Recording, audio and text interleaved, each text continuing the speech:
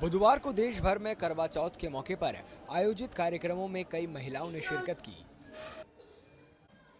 त्योहार मनाने के लिए जम्मू शहर में एक भव्य कार्यक्रम आयोजित किया गया, जिसमें मिसेज करवा चौथ 2023 प्रतियोगिता रखी गई। अपनी प्रतिभा को उजागर करने के लिए शहर के कई हिस्सों से महिलाएँ इस कार्यक्रम में पहुँची। ये त्यौहार जो है, आज यहाँ पर स्टेज पे सब डिफरेंट डिफरेंट जगहों से जो लेडीज़ आई हैं और अपने एक संस्कार जो हैं, वो शो कर रही है, दिखा रही हैं। और आज सब अपने कॉस्ट्यूम्स में, अपने पूरी थालीज के साथ व्रत की थालीज के साथ आई हैं। तो ये प्रतीक है कि हम त्यौहार सारे कितनी खुशी से मनाते हैं। सजी धजी महिलाएँ हाथ में करवा चौथ की थाली लेकर प्रतियोगिता में भाग लेने के लिए उत्सुक दिखाई दी। उन्होंने इस तरह के आयोजन का हिस्सा बनने और खिताब जीतने की उम्मीद के साथ अपनी भावनाओं का इजहार किया। मैंने इस बार फ़र्स्ट टाइम में पार्टिसिपेट किया है और मुझे बहुत अच्छा लगा है।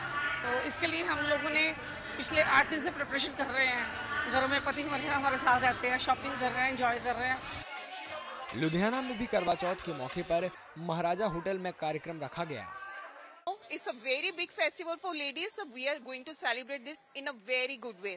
Uh, we are celebrating it in the Maharaja with the collaboration of Lakshmi Lady uh, Ladies Club and Mrs. Leena Sharma. We have so many things to do in the uh, in this function. Like we have Karwa Queens contest. It's a different kind of contest. Like age uh, age wise and after that we have Saas Bahu contest and Devarani Jethani. It was a nice experience. I guess it is the most awaited festival uh, amongst the women and we really enjoy it. Uh, we are eagerly waiting uh, कि मेहंदी लगवाने जाएंगे. We sit around 3 o'clock रात के 3-3 बजे तक बैठते हैं मेहंदी लगवाते हैं and then we wait for our sargi खाने का time and then to get ready wear our bangles. These all girly things we all love it. Ranchi में भी महिलाओं को हँसते गाते देखा गया। पंजाबी भवन में महिलाएँ इकट्ठी हुई और अपने ही अंदाज में त्योहार मनाया। बहुत अच्छा लग रहा है। पहला करवा चौथ है मेरा तो सुबह से बहुत एक्साइटेड थी इस दिन के लिए और पहले से ही एक्साइटेड थी, बल्कि आज सुबह तो और बहुत मज़ा आया।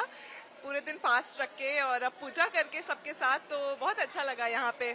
सब लोग से आशीर्वाद भी लिया बड़े लोगों से तो बहुत अच्छा एक्सपीरियंस था। करवा चौथ पर विवाहित महिलाएँ अपने पतियों की अच्छे स्वास्थ्य और लंबी उम्र के लिए चाँद के दीदार तक व्रत रखती हैं।